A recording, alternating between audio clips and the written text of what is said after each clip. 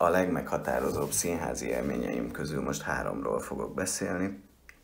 Az első, az főleg szakmailag érdekes.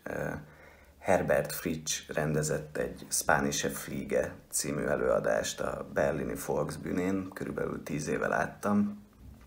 Ez főleg azért érdekes, mert egy olyan túlhevített és alapvetően humoron alapuló, vagy humorra épülő játékmóddal találkoztam, amivel sem addig, sem azóta nem. A második az a Bodó Viktor által rendezett Lilium, amit Grácsban rendezett Bodó, és ott főleg egy pillanat, ami, ami nagyon sokszor eszembe jut, amikor Lilium az első felvonás végén meghal, ezt úgy oldották meg, hogy a hatalmas díszlet egyszer csak felemelkedett, hátulról a díszlet mögül meg voltunk lőve nagyon erős lámpákkal, és közben, ahogy emelkedett el ez a házdíszlet, föntről törmelékek estek, és Keresztes Gábor zeneszerző, mint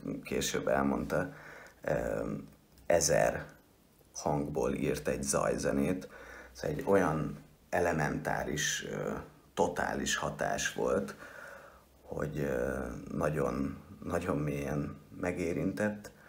És a harmadik az a Münchener Kammerspiele előadása volt, nem emlékszem, hogy kirendezte. A címe az volt, hogy Hiob, és a történet szerint egy apa és fia nagyon hosszan nem találkoznak, és itt azt a pillanatot emelem ki, amikor talán 10-15 évvel később újra egymásra találnak. És itt pedig olyan, olyan mélyen, vagy olyan szépen játszották ezt a pillanatot, hogy, hogy azóta se felejtem el.